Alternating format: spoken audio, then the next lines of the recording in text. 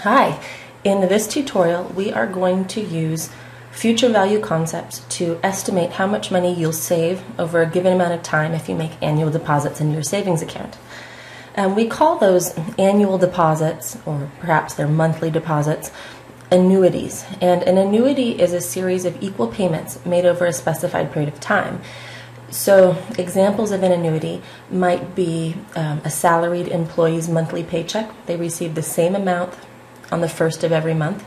Or something like a car payment that you make. You make the same payment to the bank every month. Or a regular allowance. Say your parents deposit $1,000 into your account on the first of each month. Those are annuities. A regular payment of an identical amount, evenly spaced, monthly, annually, biannually.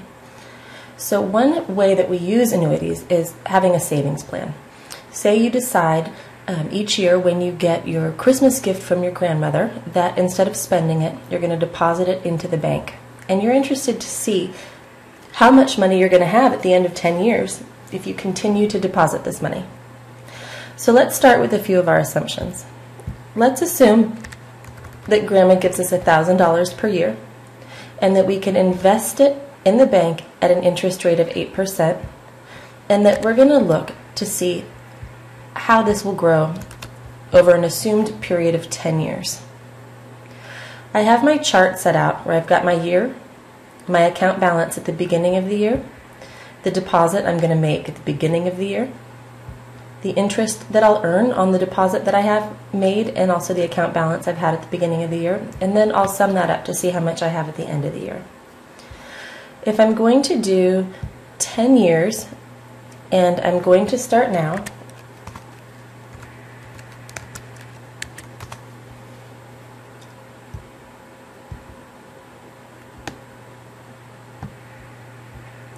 during my first year, I start the year with a zero dollar balance. However, I make my first deposit. My deposit's going to be a thousand dollars. I give it an absolute reference so I can allow, I can drag my cells down um, to maintain my formula. And then the interest that I earn during the year is going to be equal to the deposit that I make multiplied by 8%. I'm also going to give that an absolute reference. You may wonder why I used 1 plus the interest rate in our previous chapter's work, but this time it's just the interest rate. When we use 1 plus the interest rate, that gives us the balance.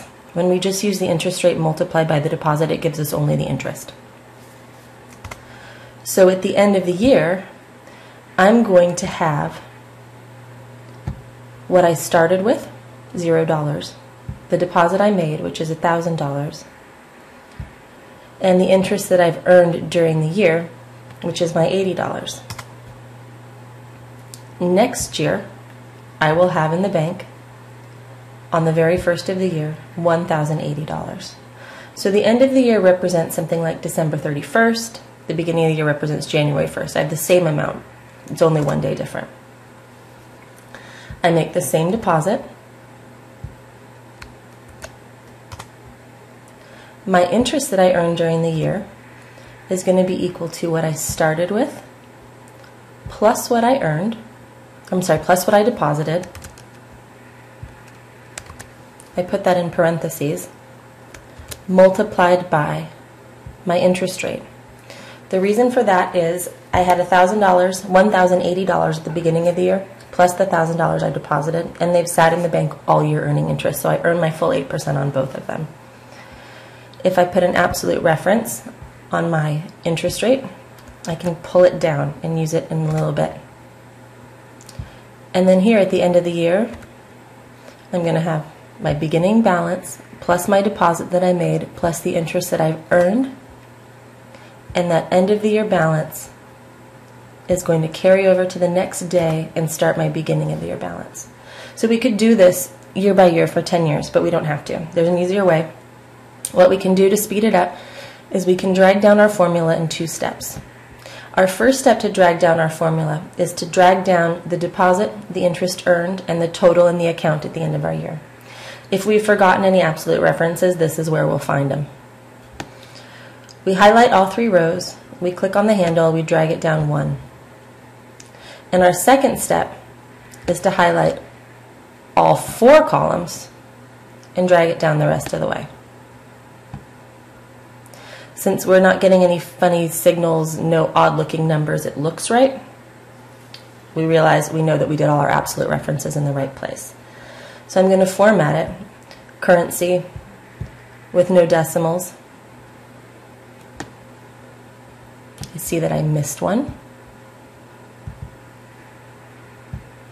And we can see that at the end of 10 years, we are going to have $15,645. So we don't have to do it that way every single time, right? We did it this way to illustrate how each year we earn interest on the deposit we made plus the beginning balance. And this is how compound interest works. You earn interest on the deposits you make, but every year that interest carries over. As you earn interest, you then earn interest on the interest that you've earned. We can do it an easier way. There's two ways we can do this. We can just use a formula. We can do it all in one cell. We don't have to make this chart. You'll make it, you know, as practice, but once you get going, you won't need to make them all the time. In our dialog box, I'm going to use look for the FV function, and that means future value. When it comes up, I have a number of boxes. I've got my rate box, I've got my N period box, that means my number of periods or my number of years in this example. I've got my payment, and a payment is a word for that regular deposit um, or the regular salary. It's the payment is the amount of the annuity, whether or not you're making a car payment or saving or receiving a payment. It doesn't matter. PV is present value. We're gonna we don't need that in this example, so we're not going to use it. That would be if we started with some money. And type basically means when do we start? Do we start at the beginning of the period today, which is what we did? We're going to start with our first deposit on the very first day of the year, or do we start at the end of the year? Zero. So if you leave anything out, it'll be zero. But we're going to make our deposit at the beginning of the year, so we need to put that one in there. So our rate is 8%. Our number of periods is 10 years. Our payment, here's a funny Excel quirk, is you have to enter money that you're saving as a negative number, otherwise your, your balance will come out negative. Then if I hit return, I get $16,645, my same answer that I had before. And so I got this using the dialog box. I can also calculate the formula or the answer to this formula using a formula where I don't need to open the dialog box. So I click equals, and then I know that I'm using the FV function, right? We saw that when we used the dialog box.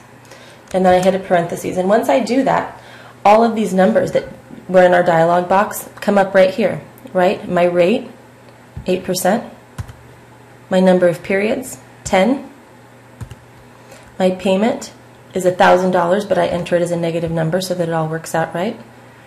When I hit comma, it's present value. See how the present value, it becomes bold, but both present value and type are in brackets. They're in brackets because if you ignore them and you don't enter anything, the function will still work. They're optional. I just hit a comma again right away to transfer myself to type.